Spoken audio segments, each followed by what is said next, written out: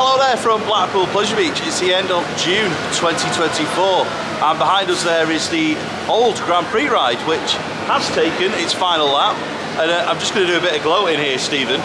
I predicted with you and Mike that it would run on its final lap. Yeah, yeah, I was And a it bit, did. I was a bit hesitant on it. They, must have spent a fortune getting that thing back going again. But Yeah. I'm glad they did for the fans. Though. Same, same. So, you know, 10 out of 10 for them for, for spending that money and getting it back to scratch. I agree. Uh, it looked like a really good event for those that were here, and also I think Pleasure Beach did a good finale video on their YouTube channel. I thought that was really good. So today, taking it to the present day and not the final lap event, we are here to look at the status of the Grand Prix because Blackpool Pleasure Beach have started the decommissioning and deconstruction of the Grand Prix ride.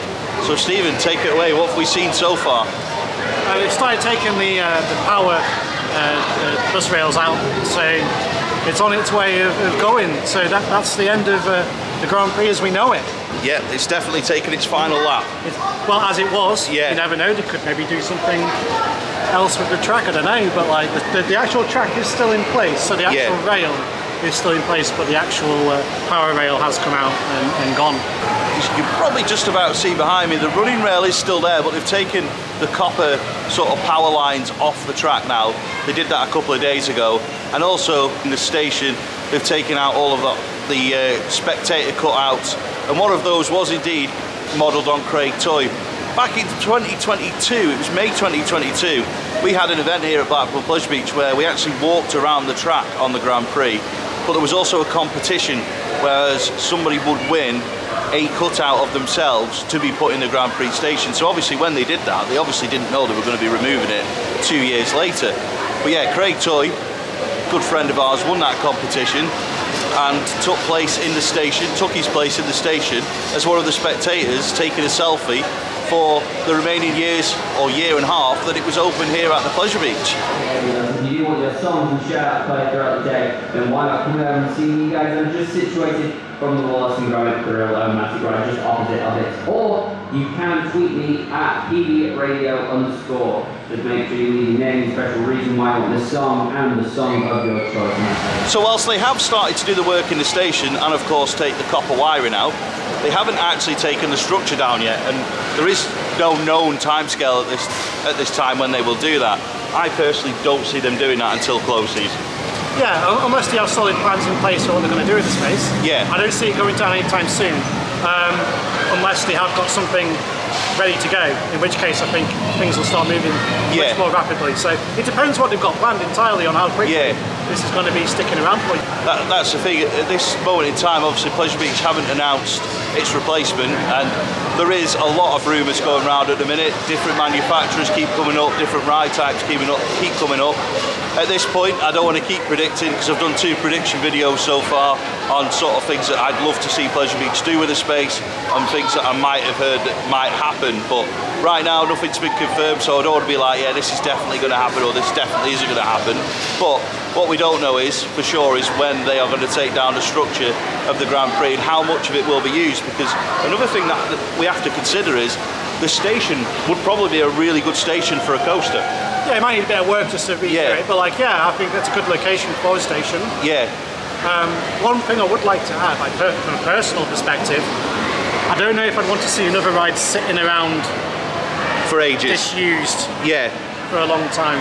Because we've got a lot of that going on at this park at the moment. yeah, It just gives a bit of a bad impression. So I'm hoping this is all going to be sorted out quickly. relatively quick. Yeah, Yeah. and either gone, like disappeared, or um, you know, moving on to becoming something new.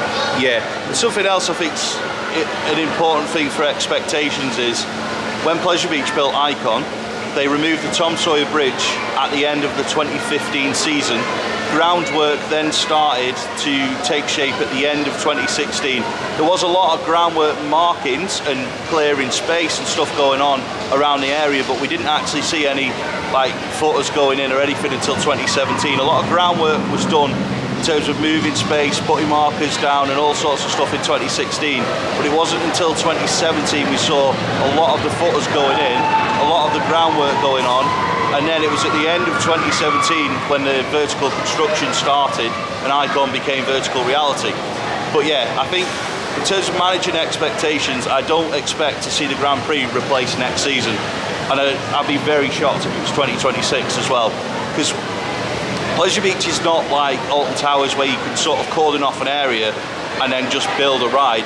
Pleasure Beach is very much like a working amusement park at all times when it's open. Everything's connected. When you think like Grand Prix is behind us, we just turn around here, Big Dipper's there, and then you've got icons, Enzo queue and Speedy Pass queue and Easy Pass queue right there. So you couldn't close those all off whilst you worked in this area. So that's why I think that we all have to manage our expectations and can't be like, yeah, they're going to build a new ride for next year. It's going to take a lot longer than that. But I'm interested to see what the next steps are with the structure of the Grand Prix.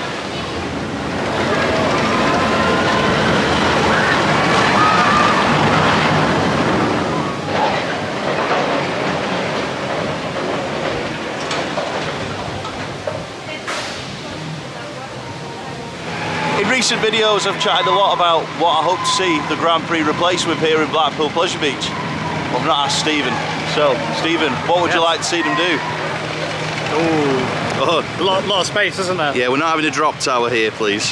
What I would like, Yeah, now, what I would like would not make sense for the park because they've got Icon. yeah, true. um, I would love something uh, Intamin multi-launch coaster. We're definitely not getting two, one of them. Two, two Tatis, you know, something with a bit of a, a spike with the, because you could get a good, um, you could maybe even go for the height record with a, a reverse spike or something, you know, like, you could do quite a lot of interesting things with that type of coaster. Do you know the only way I see a, an Intamin launch coaster here now is if they go for like a Red Force stealth style Yeah, yeah. height record coaster. Why not? I'd be up for that. I was just thinking, like, you remember, I don't know, the rumours back when we were, we were, we were wee, wee big, you know, about the bigger one and that. Same height but had hair. The, um, the actual location where a lot of us said the station would go for that Grand Prix. is actually up there, Yes. just pointing out and out there. And there, and there was planning permission. Yeah, the, the bigger one's station was going to be where Imagine. it'd go out onto the promenade. Imagine that.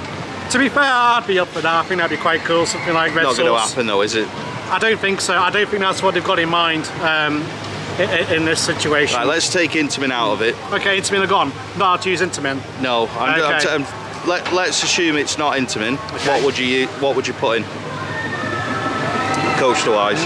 Oh, you know what? It's a tough one because I'm trying to think of, of what coasters that aren't Intamin that I like, and Intamin are really good at the moment. All right, Uh, I'll, I'll ask you a different way. Let me have a think about it for a minute. You, you carry on. All I was going to say is, does it need to be a record breaker, or does it need to be something like Icon, where they can just, you know, it, it's good on merit, but doesn't actually Hmm. break any records? Okay, I think that for Blackpool, they kind of need a, a, a USP I agree. coaster, so I do think you need to kind of go for a record.